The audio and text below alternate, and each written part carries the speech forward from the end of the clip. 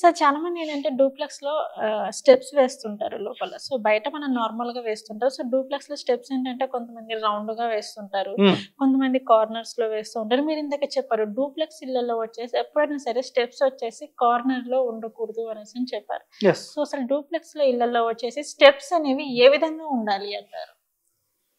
మనకు తూర్పు పడమర ఉత్తర దక్షిణాల ఫోర్ సెంటర్స్లో అలౌడ్ కార్నర్స్లో కూడా అలౌడ్ ఓకే కానీ మూలల్లో నుంచి మొదలు కావద్దు అని చెప్పారు okay. Simple condition is four centres మనకు ఖచ్చితంగా ఓపెన్ ఉండాలి. ఫోర్ కార్నర్స్ డ్యామేజ్ ఇది సింపుల్ కండిషన్ ఓకే. మీరు ఇప్పుడు తిరుమల చూసాం.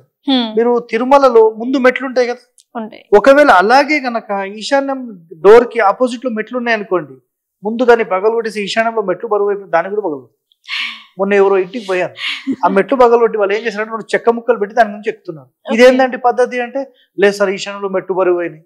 ఏం చెప్పాలండి?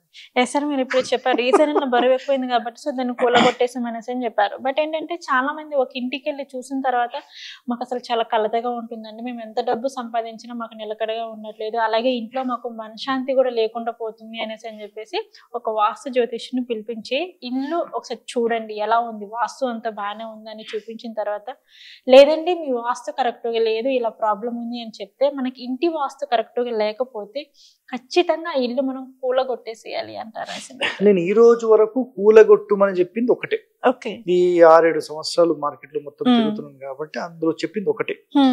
అది ఆ ఇంటి లోపల ఇంతవరకు ఎంతమంది ఉన్నారో మూడు మూడు సంవత్సరాలకు ఒకళ్ళు చనిపోతున్నారు. ఓకే. అట్లాంటి ఇల్లే నేను చెప్పింది.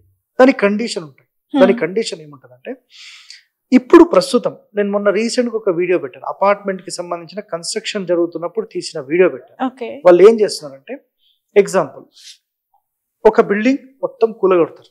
ఆ Hmm. బిల్డింగ్లో టాయిలెట్ కమోడ్స్ ఏవైతే ఉంటాయో మొత్తం. మొత్తం స్ట్రక్చర్ అదంతా తీసుకొచ్చి అపార్ట్మెంట్ కింద వేసేస్తారు అట్లాంటి దాంట్లోనే అట్లాంటి అదే ల్యాండ్లో ఇంతకుముందు ఏదో కుక్క చనిపోయింది అక్కడే పాతి పెట్టేశారు. అదే స్థలం ఎవరో కొన్నారు అక్కడ ఇల్లు కట్టారు. ఆ ఇంటి లోపల దాని ఇంపాక్ట్ మొత్తం ఉంటుంది. ఓకే ఆల్రెడీ చనిపోయిన వాటిని అక్కడ పాతి పెట్టారు కాబట్టి సో ఆ ఇంపాక్ట్ అనేది సో ఆ ఇంట్లో చూపిస్తుంది. ఉంటుంది. ఇప్పుడు సింపుల్గా నేను చెప్తాను. అంటే కొంతమంది శ్మశానాల దగ్గర కూడా ఇట్లా ఇల్లు కడుతుంటారు కదా సార్ సో అక్కడ ఇన్ఫాక్ట్ ఉంటుందంటారా? ఉంటుంది కంపల్సరీ ఉంటుంది. ఓకే బట్ చాలా మంది అంటే ఇప్పుడు మీరు చెప్పారు ఇందాక మనకి సిటీలో కానీ బయట చూసుకున్నా కానీ ఒక గజం ఒక వంద గజాలు దొరికినా కానీ అసలు ఖాళీగా ఉంచట్లేదు. ఏదో ఒకటి చిన్న షాప్ లాంటిది పెట్టేస్తూనే ఉన్నారు. కమర్షియల్కి ఏం కాదు. Yeah commercial commercial Come on. Scheme కాదంటే ఏమీ కాదు. అది? అట్లా కాదు కమర్షియల్కి ఎందుకు ఏం కాదంటే ఇక్కడ రాత్రి ఎవరు పడుకో ఓకే. పడుకున్న వాళ్ళకి ఇంపాక్ట్ చాలా ఉంటుంది. మీరు డే మొత్తం ట్రావెల్ చేయండి. నైట్ ఎక్కడ పడుకుంటారో దాని ఇంపాక్ట్ మీకు ఆ నెక్స్ట్ డే మొత్తం ఉంటుంది.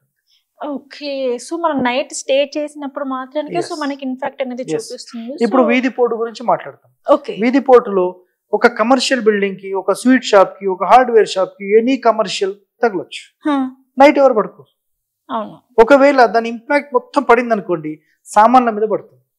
ఆ సామాన్లు వెళ్ళిపోతాయి. వెళ్ళిపోతాయి. దాని అర్థం ఏంటిది? గిరాకీ ఇంకా ఎక్కువ అవుతుంది కానీ అదే మనిషి ఉంటే మనిషి వెళ్ళిపోతుంది నష్టం జరుగుతుంది. అట్లా ఓకే.